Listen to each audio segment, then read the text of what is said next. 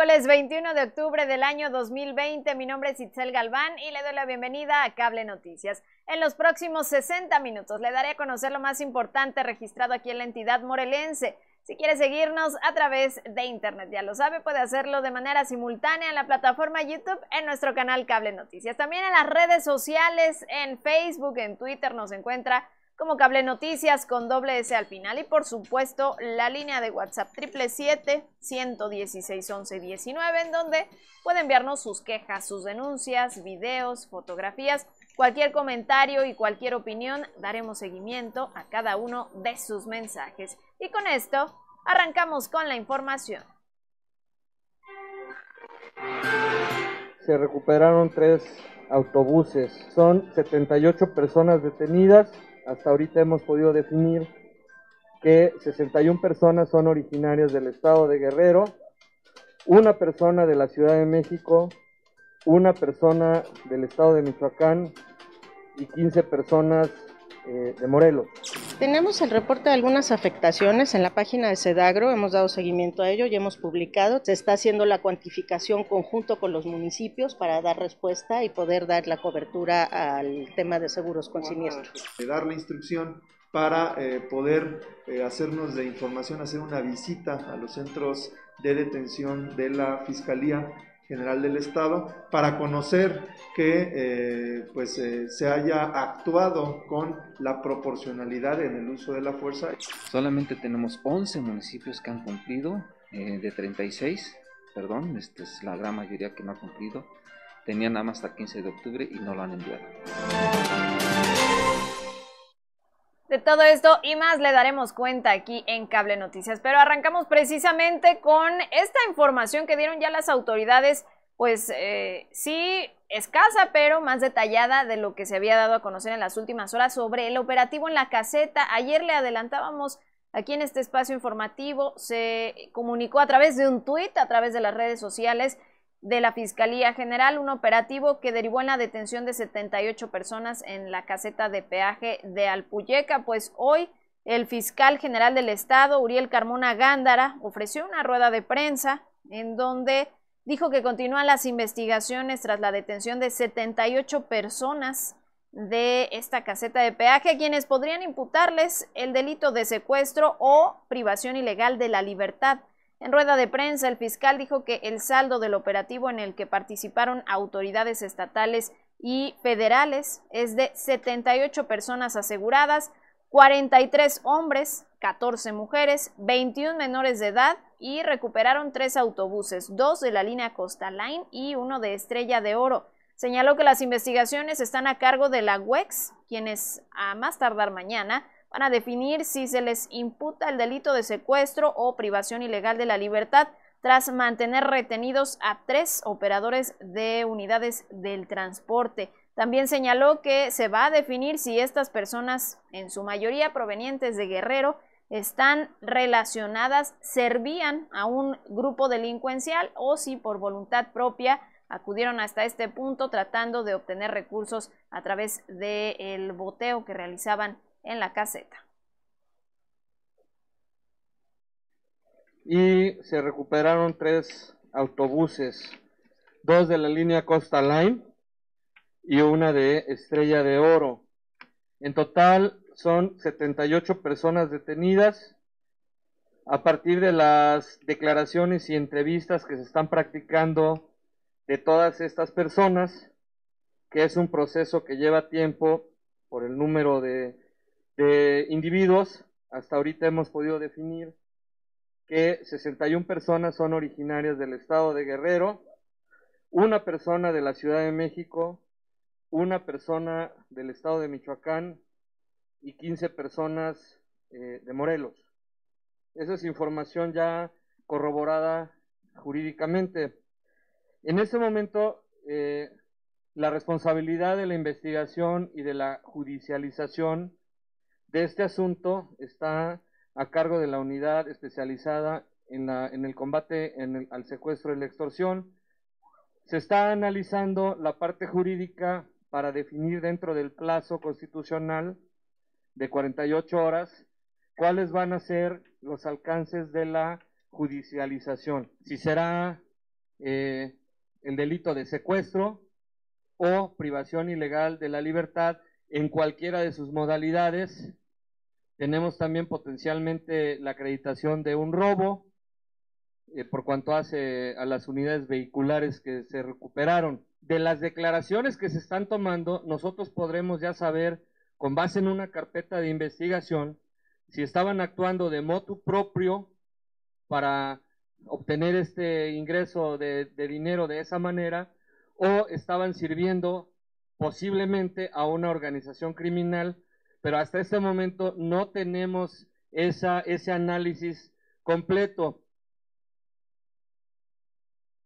Pues esto es lo que se ha informado por parte de la Fiscalía General del Estado. Se tenía previsto hoy se llevará a cabo esta rueda de prensa acompañada también del comisionado estatal de seguridad pública, de la fiscal antisecuestros y bueno, pues eh, finalmente solo eh, ofreció esta rueda de prensa el fiscal. Se espera que mañana muy temprano se den más detalles, al menos así lo adelantaron. Habrá imágenes, ya eh, algunos elementos de prueba de estas detenciones, también el monto de lo que lograron recuperar o asegurar a estas 78 personas, el monto de lo que ellos habían pues recaudado a través de este boteo o a través pues de este de esta petición de dinero a cada vehículo, a cada ciudadano que transitaba por esta vía de comunicación. De todos estos detalles se espera mañana den cuenta las autoridades estatales en eh, el C5 nuevamente, en las instalaciones de la Comisión Estatal de Seguridad. Y quien ha hablado también al respecto sobre esta detención es el ombudsman morelense,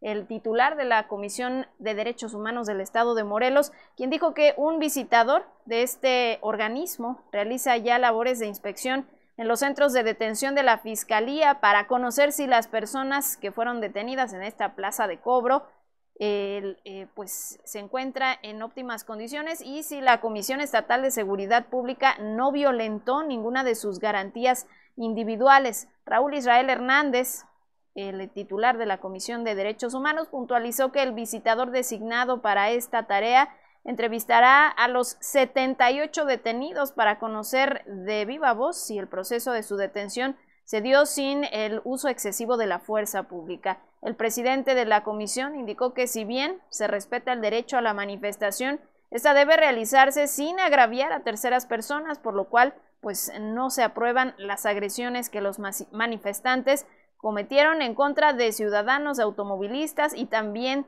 de unidades del transporte público federal. Hernández Cruz acotó que los manifestantes que sean identificados como agresores deberán asumir las consecuencias y por ende hacerse acreedores a sanciones penales o lo que la propia legislación establezca. Eh, lo que nos hizo a nosotros eh, fue el de dar la instrucción para eh, poder hacernos de información, hacer una visita a los centros de detención de la Fiscalía General del Estado para conocer que eh, pues, eh, se haya actuado con la proporcionalidad en el uso de la fuerza y que eh, obviamente se respeten los derechos que todas las personas tenemos cuando somos sujetas de algún tipo de investigación. Estamos en eso desde el día de ayer. son, se designó a un visitador para poder requerir la, la, la presencia de los detenidos y conocer si se han respetado sus derechos y también eh, identificar en caso de que existan eh, menores de edad, pues también para que se actúe con las reglas específicas para esos casos. ¿no? Eh, muchas veces también se pueden cometer conductas que sanciona tanto la ley penal como la legislación en materia administrativa. Y existe el deber también de las instituciones policiales de prevenir este tipo de conductas infractoras o que configuran también eh, la comisión de delitos. Pues revisará el, eh, la manera en la que se llevaron a cabo estas detenciones, este órgano defensor de derechos humanos. Sin embargo, pues sí, se mostró a favor de esta detención, en contra, por supuesto, de las manifestaciones que realizaron con violencia allá en la caseta de peaje. Y cambiando de tema, hoy las autoridades estatales han informado que actualmente aquí en el estado de Morelos hay 110 personas que se encuentran en calidad de desaparecidas. Así lo señaló la comisionada de búsqueda de personas en la entidad, Wendy Guadalupe Ruiz Ramírez, quien detalló que varios de estos casos se trata de desapariciones de años atrás. En entrevista, la funcionaria puntualizó que durante la contingencia sanitaria redujo de forma significativa las denuncias que se presentaron ante esta instancia por desaparición de personas y detalló que en el mes en donde se tuvo una disminución de hasta el 70% en estas denuncias fue en abril. Luis Ramírez refirió que de las más de 110 denuncias por casos de desaparición, el 70% corresponde a mujeres y el 30% restante a hombres. Eh, no, lo que pasa es que nosotros vamos haciendo un corte eh, mensual. Entonces hubo una disminución en febrero, marzo eh, y en abril fue casi un 60% disminuyó los reportes. Sin embargo, eh, lo que hemos nosotros notado es que ahora estamos recibiendo reportes de personas que desaparecieron en ese periodo. De hecho, ahorita tenemos un, reporte eh, de lo que va del año a 110 personas aproximadamente. Reporte nosotros, comisión. Obviamente, eh, Fiscalía recibe más, más denuncias. Y cambiando completamente de tema, vámonos al panorama COVID-19. Las autoridades de la Secretaría de Salud han informado que en las últimas 24 horas se sumaron 38 nuevos casos más de COVID-19 en varios municipios, teniendo un total ya de 6.661 contagios. También lamentablemente en las últimas horas fallecieron cinco personas por complicaciones en la salud derivado de esta enfermedad y a la fecha en Morelos se tiene un total de 1.248 defunciones. Hasta el momento, 15.511 personas han sido estudiadas, 7.931 han dado resultado negativo, 919 se mantienen como sospechosos y 170 son casos activos. Cuernavaca tiene un total de 1.736 casos, 1.355 recuperados. Cuautla 991 con 800 en recuperación. Jutepec 680 contagios y 539 afortunadamente han mejorado. En Ayala se contabilizan 300 confirmados, 255 recuperados y en Jojutla 255 confirmados y 195 recuperados. También 145 morelenses fuera de la entidad se contagiaron y de estos 45 lamentablemente fallecieron. En cuanto a las defunciones, indicaron las autoridades que Cuernavaca ocupa el sitio número uno con 277 decesos, Cuautla en segundo lugar con 166, Jutepec con 108, Temisco 71 y Zacatepec 56.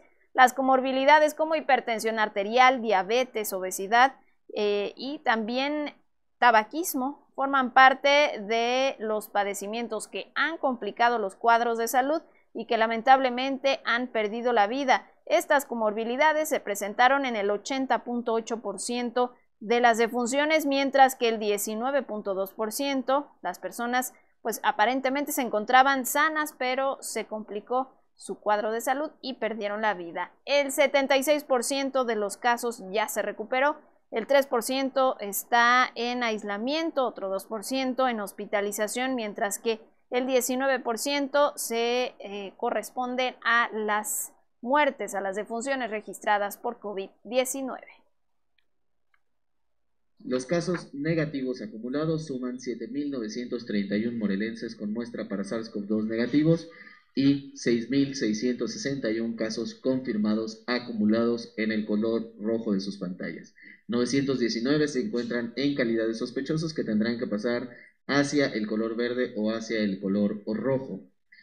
Sobre los confirmados activos suman 170 casos y está en su esquina inferior izquierda de color naranja, recordando que los casos activos son los que se han diagnosticado en los últimos 14 días o tienen presencia de signos y síntomas en los últimos 14 días y son los que tienen mayor posibilidad de infectar a los sanos.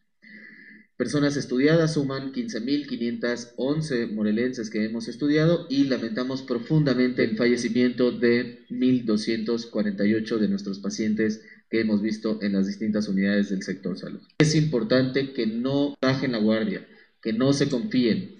Lo hemos dicho en repetidas ocasiones y es importante este llamado a la población.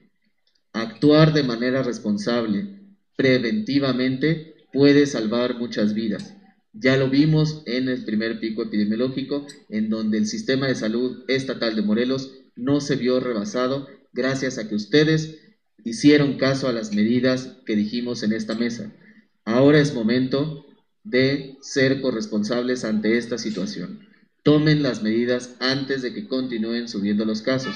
Es importante que si ustedes cumplen con este llamado, los casos pueden continuarse de una manera estable y que no suceda una catástrofe en nuestro estado. Si todos nos confiamos, no podremos dar atención necesaria a tantas personas. Es importante que ustedes, como nosotros y cada uno de los sectores, cumpla con los protocolos y lineamientos que están publicados en nuestras páginas y que hemos publicado por esta vía. Seamos corresponsables y evitemos que nuestros casos en el estado de Morelos aumente un contagio, evitemos lo que le está pasando a otras entidades actuando con responsabilidad. Recuerden que si te cuidas tú, me cuido yo y nos cuidamos todos.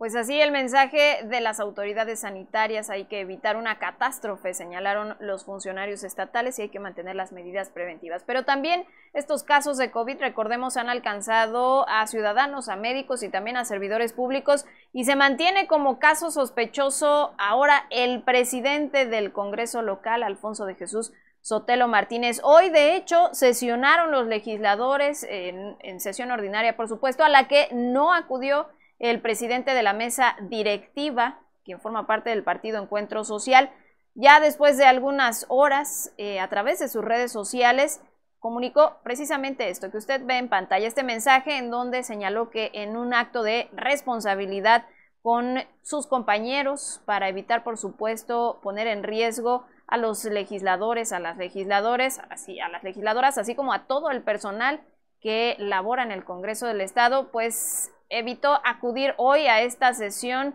luego de presentar algunos síntomas de COVID-19. Dijo que está a la espera de los resultados de la prueba practicada, la prueba PCR, para que se determine si el legislador, si el presidente del Congreso en Morelos eh, finalmente sufrió un contagio también de SARS-CoV-2 o se trató de algún otro padecimiento, de alguna otra enfermedad con síntomas parecidos a COVID-19 y bueno, se mantiene hasta ahora como caso sospechoso. Están esperando los resultados para determinar si se suma o no a esta lista de servidores públicos de funcionarios aquí en Morelos que han dado positivo a la prueba.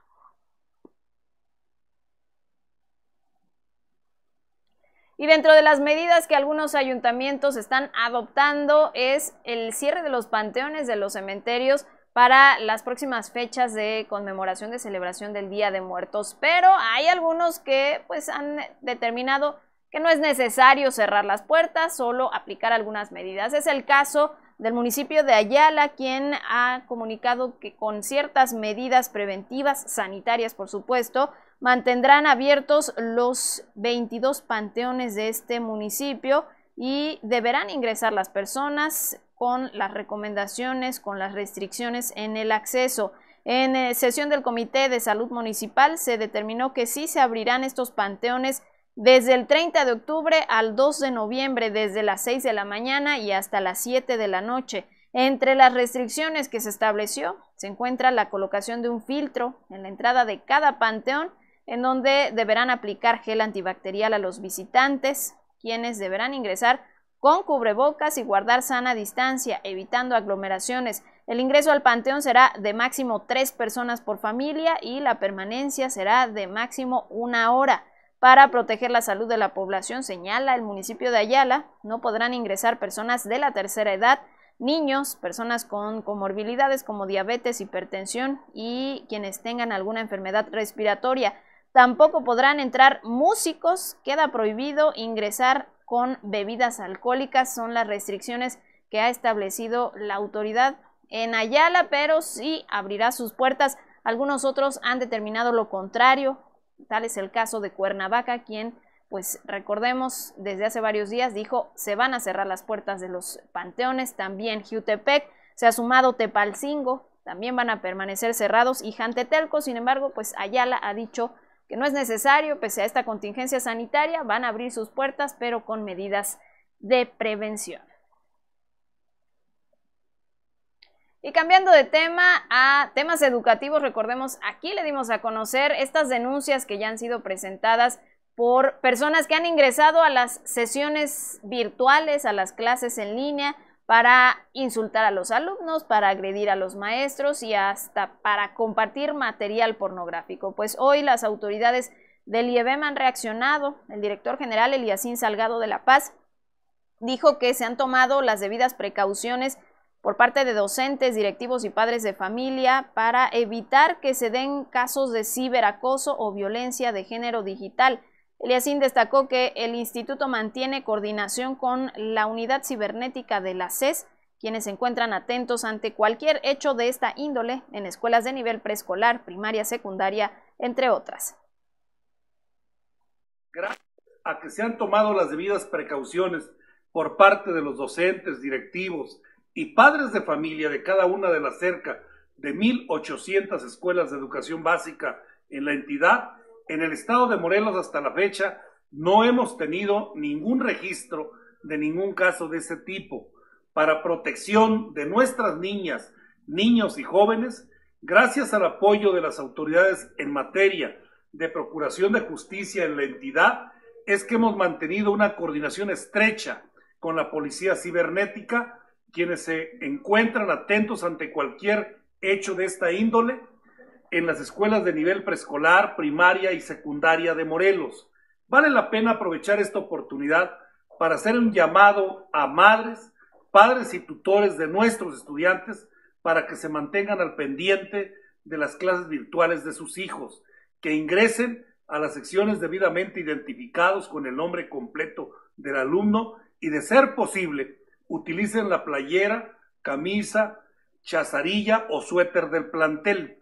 Además, recomendamos a las maestras y maestros cambiar las claves de acceso de sus salones de clases de manera constante, ya que se y que se solicite a sus alumnos mantener encendida la cámara de su dispositivo en todo momento para reconocer de inmediato a quienes no pertenezcan a esa a la misma institución.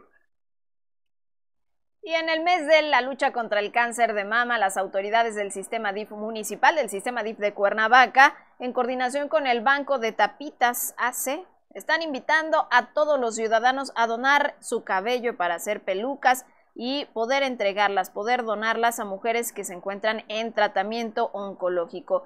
La convocatoria, la invitación de las autoridades es para el próximo viernes 30 de octubre en el Parque Tlaltenango, desde las 10 de la mañana y hasta las 3 de la tarde. Estarán eh, los especialistas en corte de cabello para que puedan realizar esta donación. Hay que señalar, es muy importante, el cabello debe estar limpio, estar seco y sin caspa. También debe de tratarse de un cabello virgen, sin teñir, sin eh, decolorar, sin ningún tipo de tratamiento y debe medir por lo menos 30 centímetros trenzado. Por supuesto, la invitación es a mujeres, a hombres que tengan cabellera larga, a que puedan donar, puedan ayudar a mujeres que se encuentran en tratamiento oncológico. Y con esta información vamos a hacer la primera pausa, regresamos.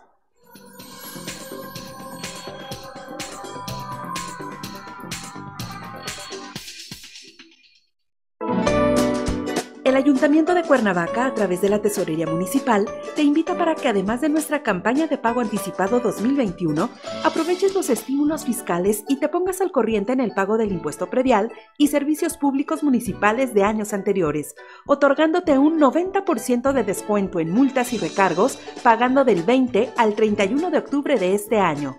Cuernavaca lo vale se llevó a cabo el traslado de nueve personas privadas de la libertad a distintos centros penitenciarios de Morelos. se va a colaborar con la Comisión de Seguridad para garantizar la seguridad de los inmuebles y de los propios alumnos.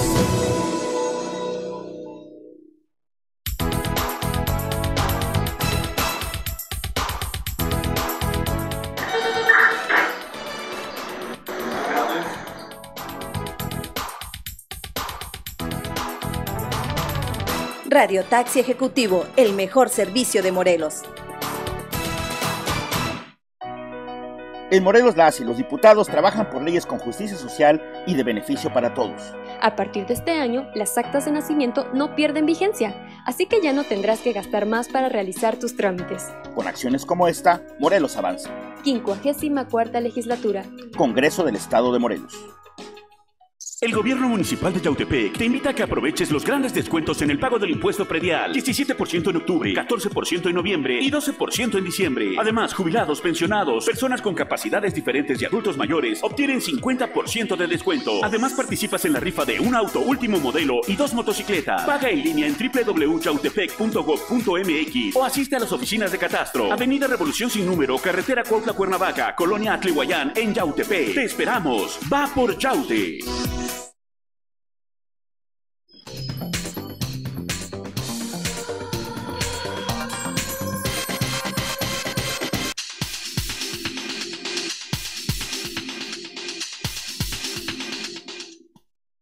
Gracias por continuar con nosotros. Y en cada temporada invernal, así como en cada temporada de lluvias, de precipitaciones, los municipios están obligados a presentar un plan operativo, por supuesto, para conocer las zonas de riesgo, para conocer eh, eh, la, población vulnerable a cada uno de estos eh, pues, fenómenos meteorológicos.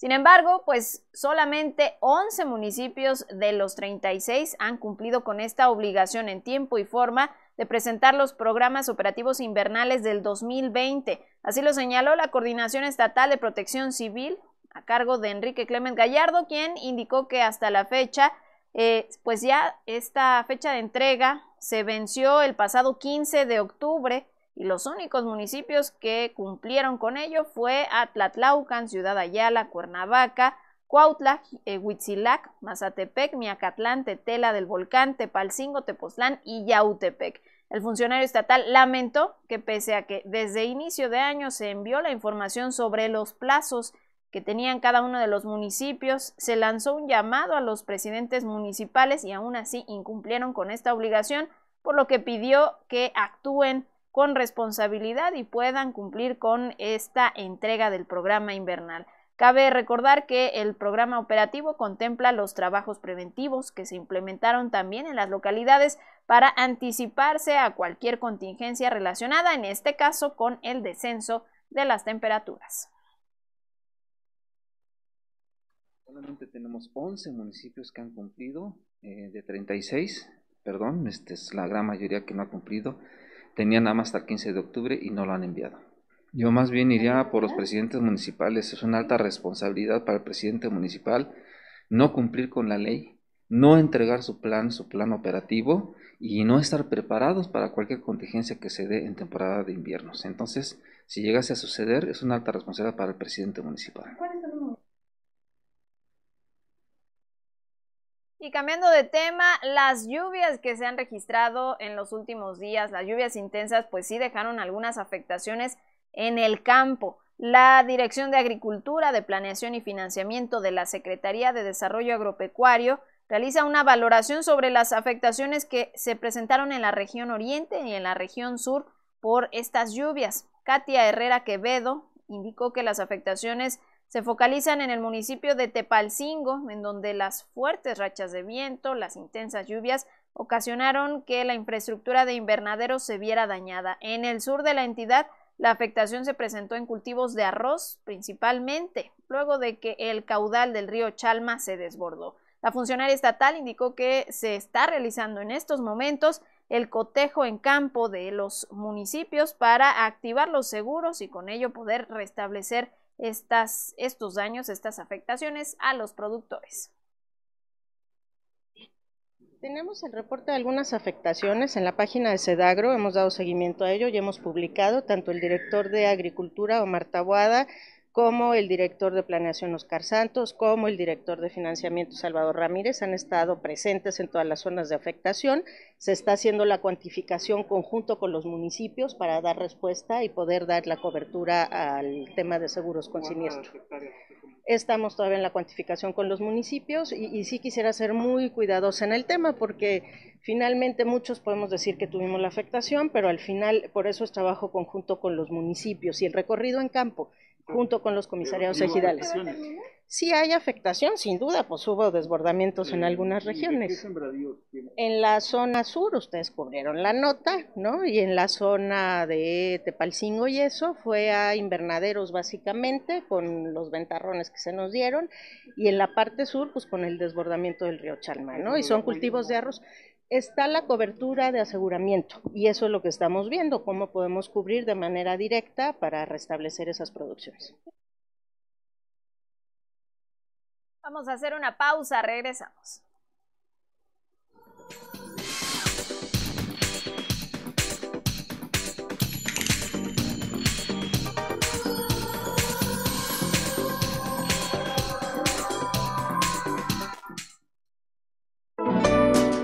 El Ayuntamiento de Cuernavaca, a través de la Tesorería Municipal, te invita para que además de nuestra campaña de pago anticipado 2021, aproveches los estímulos fiscales y te pongas al corriente en el pago del impuesto predial y servicios públicos municipales de años anteriores, otorgándote un 90% de descuento en multas y recargos, pagando del 20 al 31 de octubre de este año.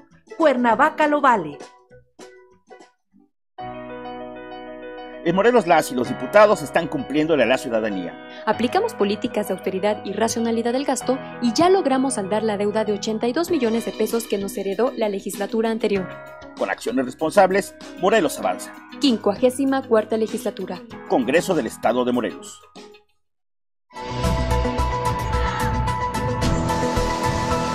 La sana distancia es muy importante, nos protege muchísimo el ZAPAC informó que durante el último trimestre atendió más de 900 reportes por fugas en la red hidráulica. El gobierno municipal de Yautepec te invita a que aproveches los grandes descuentos en el pago del impuesto predial. 17% en octubre, 14% en noviembre y 12% en diciembre. Además, jubilados, pensionados, personas con capacidades diferentes y adultos mayores obtienen 50% de descuento. Además, participas en la rifa de un auto último modelo y dos motocicletas. Paga en línea en www.yautepec.gov.mx o asiste a las oficinas de catastro. Avenida Revolución sin número, carretera Cuautla Cuernavaca, Colonia Atlihuayán, en Yautepec. Te esperamos. Va por Yaute.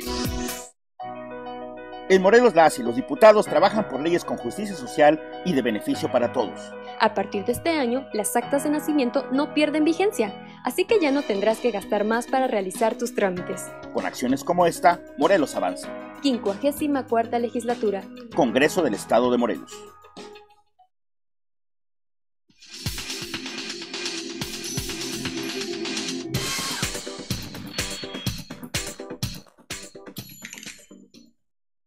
Gracias por continuar con nosotros y es miércoles de Conociendo Más de Contabilidad con el contador José Alfredo Salgado. ¿Cómo está, contador? Buenas noches. Eh, Itzel, ¿cómo estás? Buenas noches, qué gusto saludarte a ti y a todos los que nos escuchan. Un gusto escucharlo, contador. Ya no nos, eh, pues había dado el, el placer, el gusto de escucharlo, pero estamos de nuevo aquí y además con mucha información porque hay de todo. Así es, así es, aquí estamos a la orden.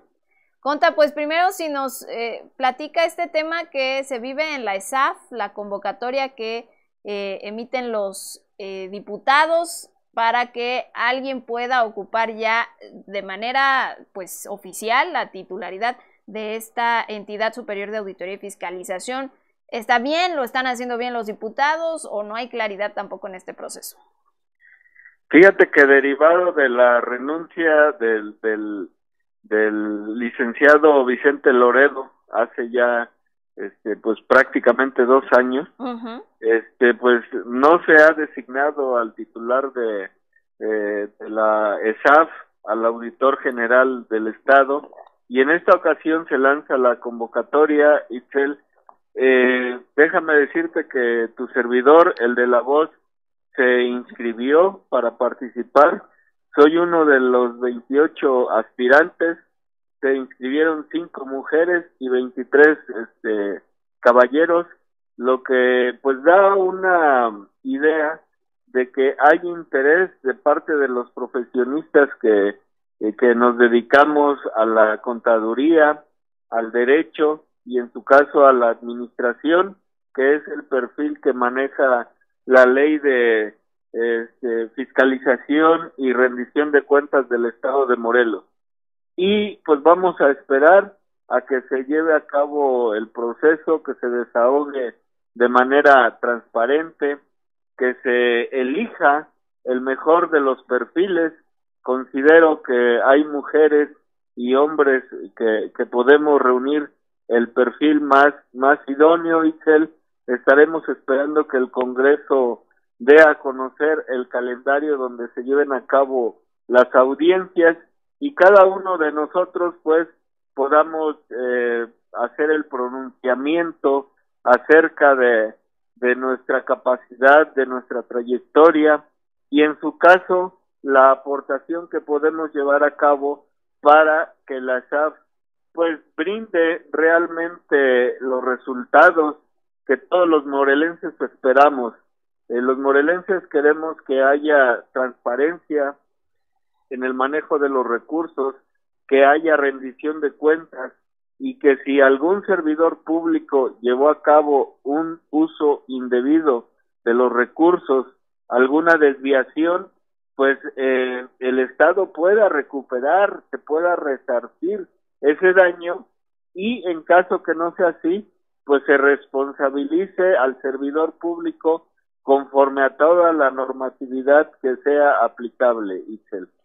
Contador, y, y como ya tiene usted conocimiento de la convocatoria, sí hay candados, viene una convocatoria de manera adecuada, porque también, eh, Conta, hay que recordar, en cada proceso de designación que se vive allá en el Congreso, pues hay señalamientos, que si hay dados cargados, que si están poniendo a sus amigos, a sus eh, conocidos. En esta ocasión, incluso pues como participante conta, ¿sienten piso parejo? ¿Hay un proceso adecuado o hay irregularidades también que, que haya que comentar?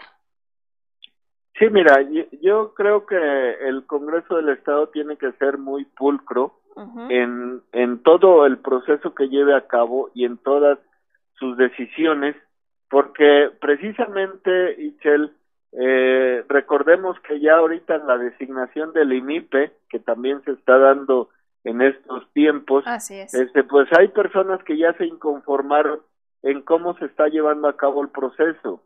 Y si hablamos del IMIPE, podríamos hablar también de la próxima designación de los magistrados y en este caso, eh, pues el, el, el auditor general del Estado, pues no es cosa menor y yo creo que los diputados no se pueden arriesgar, no se deben arriesgar a que no haya una claridad o una transparencia en todo el proceso. Eh, yo espero realmente que haya piso parejo para todos, que todos tengamos, todos los que aspiramos, tengamos la misma oportunidad en base a nuestra experiencia, a nuestra capacidad, a nuestra honorabilidad y y sobre todo pues desde luego a la propuesta de trabajo que presentemos ante la, la comisión calificadora de la Junta Política y de Gobierno del Congreso del Estado de Morelos para que en su caso el Pleno del Congreso finalmente designe a la mujer o al hombre que ha de llevar a cabo la auditoría y la fiscalización tanto a los ayuntamientos como al Poder Ejecutivo, al Poder Judicial, al Poder Legislativo, a los organismos descentralizados, Itzel. Ahora, Conta, como experto en el tema, como ciudadano, como aspirante, ¿cómo se ve la ESAF desde esos puntos? Hace falta mucho trabajo porque además, pues recordemos, está justo en este momento pues en un conflicto con la Fiscalía Anticorrupción, con la Fiscalía General, intenta auditar o investigar una denuncia, no se le ha permitido, hay operativos. ¿Cómo se ve desde el punto de vista de un ciudadano, de un experto y de un aspirante? Eh, sí, Itzel, pues mira, tú lo dices muy bien. En primer lugar, este, como, como ciudadano y como experto, más allá de mi aspiración, pues yo creo que la SAF trae un rezago importante en la dictaminación, en la fiscalización de las cuentas públicas y eso es lo que la ciudadanía pues está inquieta, ¿no?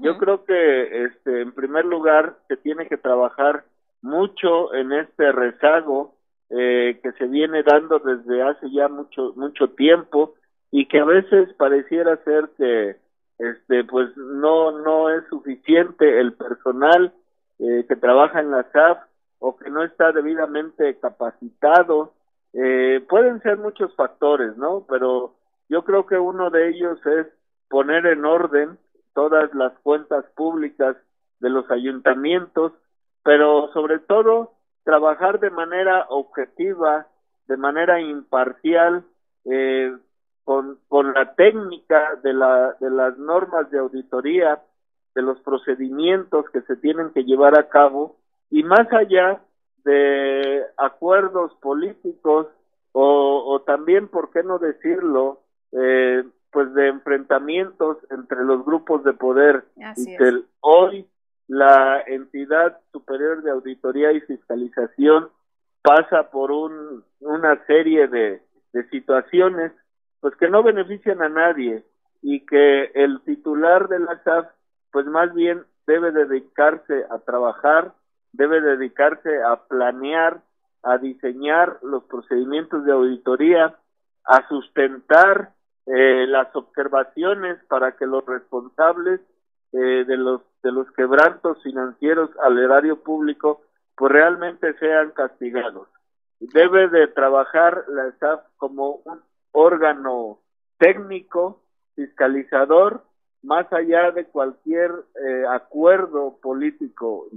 Así es que esperamos eh, precisamente que este proceso sí se lleve con transparencia, eh, conforme a lo que marca la ley y que pues todo esto sea en beneficio de los ciudadanos, que se audite, que se revise a los sujetos obligados, a las autoridades y que haya cuentas claras.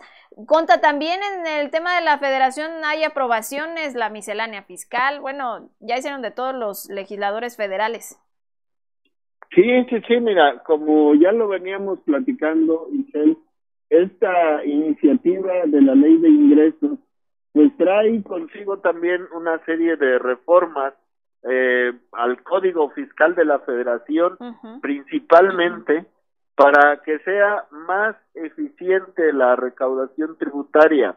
Esto quiere decir que para que el gobierno federal pues lleve a cabo un cobro de impuestos mayor al que viene realizando año con año.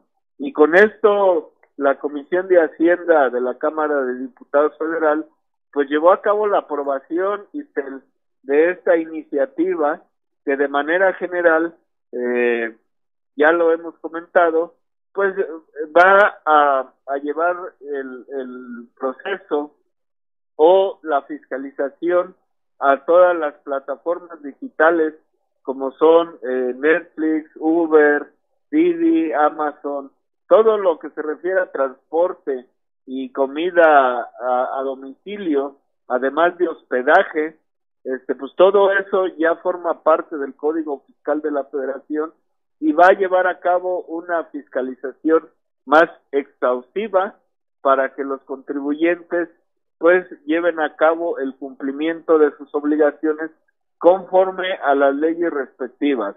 Por ahí causa un poquito de inquietud para todos los empresarios y para todos los los eh, contribuyentes que finalmente sí le dotaron a la Secretaría de Hacienda de las herramientas tecnológicas para poder grabar, para poder tomar fotografía o video de todos los bienes, de todos los archivos que formen parte del patrimonio de la empresa y que estén dentro del domicilio fiscal.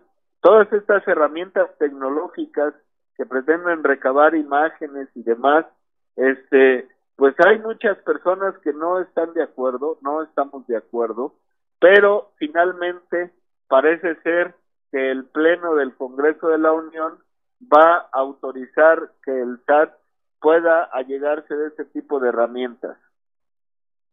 Y todavía faltan más eh, aprobaciones eh, contra el tema del paquete económico. Bueno, esta vez fue la miscelánea fiscal, pero vienen más cambios que estarían aplicando ya a partir del 2021. Efectivamente, ahorita se está analizando, este, se está discutiendo todavía este tema de la ley de ingresos, de los impuestos que se van a cobrar. Por ahí el, la bancada panista es la que está llevando a cabo la mayor oposición junto con los de Movimiento Ciudadano, pero pues los mayoritean, ya sabemos que los han estado mayoriteando y en todo caso eh, seguramente pues se va a quedar en firme todas estas iniciativas de, ley de, de leyes de ingresos para después pasar al, al, al presupuesto de egresos. Ahí en ese presupuesto de egresos donde normalmente Itel, los diputados y los senadores ven la manera en que sus municipios, sus estados que representan, pues tengan un presupuesto decoroso y es donde vienen los caloneos para repartir y distribuir el presupuesto. Así es, pues ya, ya empezaron estos jaloneos, estas aprobaciones. Esta aprobación pues duró toda la noche, toda la madrugada, faltará esto que, que, nos explica el contador y pues todavía más también ya se aprobó en el Senado finalmente la extinción de fideicomisos y bueno, toda una serie de cambios que podría haber para, para todo el país que vamos a estar muy pendientes. Contador, le agradecemos mucho esta participación. Pues sinceramente, Itzel, deseamos que sea para bien de los mexicanos. Así es. Y que no sea contrario al interés común. Así es, que no nos dejen, bueno, con el Jesús en la boca para el próximo año, que sea de beneficio, que no haya nuevos impuestos, que no nos afecte, ¿no? Que de por sí la economía está bastante afectada, que por lo menos pues se mantenga igual o, mejore un poquito para los ciudadanos, contador. Hay que reactivar la economía, las empresas, el turismo, los restaurantes, pero sobre todo cuidando nuestra salud, Michelle. Así es que es muy importante. Contador, le agradezco mucho. Buenas noches a, ti, a los compañeros y a todos los que nos escuchan. Así es, muchas gracias. El contador José Alfredo Salgado, en Conociendo Más de Contabilidad, por supuesto, en este análisis, en el proceso que se lleva al interior de la ESAF y también en esta aprobación que han hecho allá los legisladores federales. Con esta información vamos a hacer una pausa. Regresamos.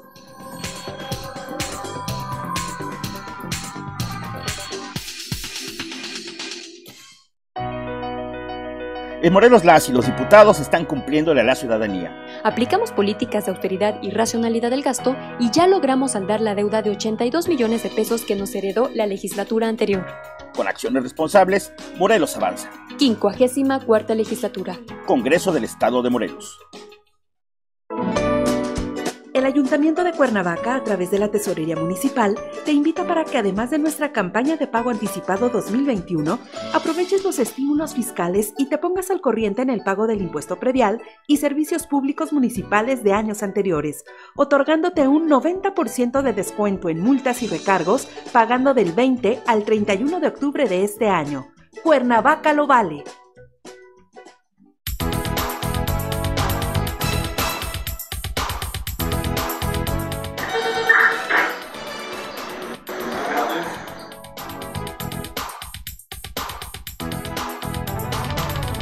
Radio Taxi Ejecutivo, el mejor servicio de Morelos.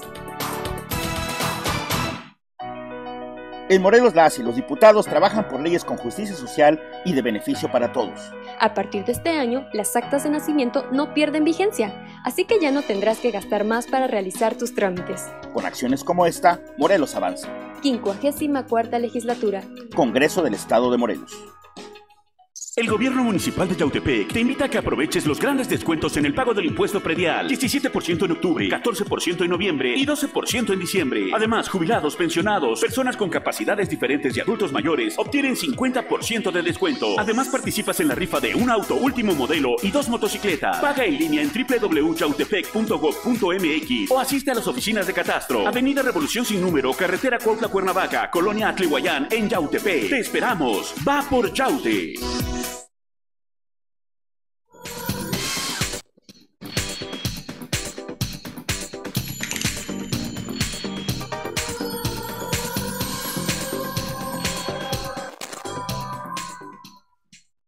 La Fiscalía Anticorrupción obtuvo la segunda vinculación a proceso por el delito de peculado en contra de Francisco N., expresidente municipal de Zacatepec, ya que presuntamente durante su gestión reportó una obra como terminada, pero esta no se llevó a cabo y además pagó por ella un millón de pesos a una empresa que no existe. En audiencia de vinculación, una juez dictó auto de vinculación a proceso por peculado y se otorgaron 45 días para el cierre de las investigaciones. Hay que recordar, se aportaron 45 datos de prueba en contra del ex edil, quien presuntamente reportó como realizada una obra de drenaje sanitario de la que no existen evidencias de que estos trabajos se hayan realizado, aunque sí se pagó un millón trescientos mil pesos a la empresa Mantenimiento y Modernización MC, la cual resultó ser una empresa fantasma. Por el delito de peculado, Francisco N. podría alcanzar hasta 13 años de prisión e inhabilitación para ocupar cualquier cargo del servicio público,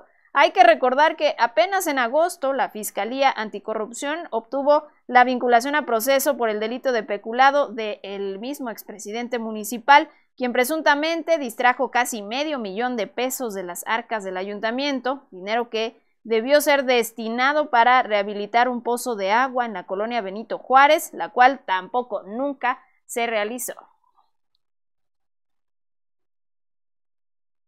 Y la Fiscalía Regional Surponiente, a través de la Unidad Especializada de Homicidios, remitió ante el juez de control a dos jóvenes habitantes del municipio de Tlaltizapán al estar presuntamente implicados en la muerte de un menor de edad. La agente del Ministerio Público ejerció acción penal en contra de Marco Antonio, de 28 años de edad, y Luis Miguel o Miguel Ángel Timoteo, de 30 años, como presuntos partícipes en el homicidio de Kevin Rodrigo, de 17 años de edad, acaecido el pasado 7 de octubre. De acuerdo con los hechos, alrededor de las seis y media de la tarde, el adolescente víctima conducía un mototaxi por la esquina de las calles Cleotilde Sosa y Vía Central en la colonia Emiliano Zapata de Tlaltizapán, en donde fue interceptado presuntamente por Marco Antonio y Luis Miguel. Presumiblemente, el primero jaló del cuello al menor para bajarlo de la unidad, mientras que el segundo habría sacado un arma punzocortante con la que hirió a Kevin Rodrigo en el abdomen en repetidas ocasiones. Después de la agresión, los presuntos atacantes huyeron sobre la calle Francisco Villa, en donde fueron asegurados por elementos policiales, quienes, entre otros objetos, encontraron seis dosis de droga conocida como cristal. El juez de control calificó de legal la detención de los imputados y determinó vincularlos a proceso con medida cautelar de prisión preventiva y un plazo de dos meses para el cierre de las investigaciones. Y en otros temas, con 11 votos a favor de 13 magistrados de los 13 presentes, los integrantes del Pleno del Tribunal Superior de Justicia eligieron al magistrado Norberto Calderón como nuevo integrante de la Junta de Administración vigilancia y disciplina del Poder Judicial del Estado de Morelos luego de que la magistrada Elda Flores León presentara su renuncia al cargo debido a cuestiones de salud. Durante la sesión de pleno se aprobó el acuerdo para poner a consideración de los órganos jurisdiccionales de segunda instancia el uso de la videoconferencia como un método alternativo para desahogar audiencias de apelación en el sistema acusatorio adversarial. Finalmente, los magistrados también aprobaron por unanimidad autorizar una licencia de 30 días hábiles a la magistrada María Leticia Taboada para que pueda atender situaciones relacionadas con su salud, por lo que deberá reintegrarse a sus labores el próximo 3 de diciembre. Vamos a una nueva pausa, volvemos.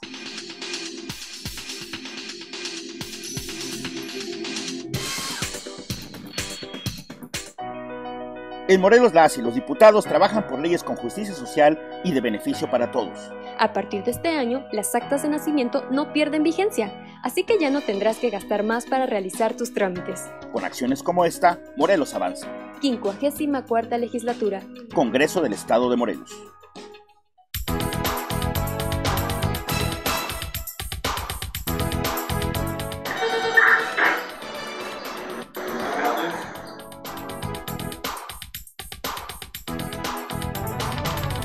Radio Taxi Ejecutivo, el mejor servicio de Morelos.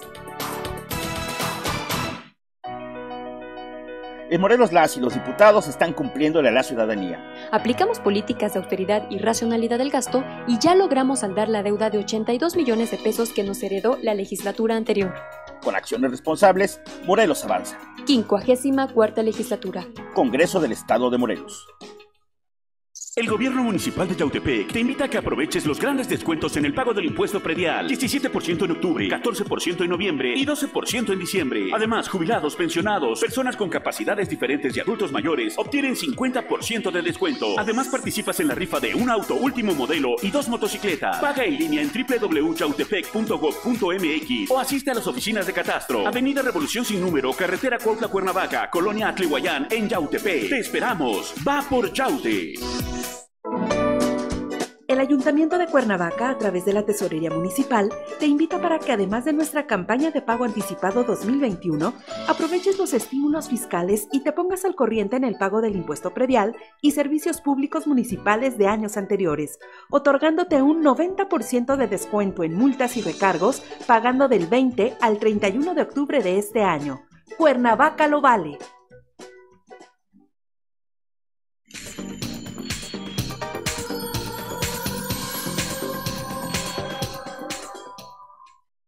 Y todo el equipo de profesionales que hace posible este espacio informativo le agradece el favor de su atención. Le recuerdo que mañana lo esperamos en punto de las 5 de la tarde y de las 9 de la noche aquí en Cable Noticias. Excelente noche.